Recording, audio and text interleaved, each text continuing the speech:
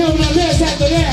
Hey, I'm kind of fucked up, y'all. I'm trying to stay motherfucking sober up in this bitch. Right? So, you know what I'm saying? If I told you you're next and shit, like, man, I'm sorry, but I'm, I'm, I'm gonna be on top of my shit.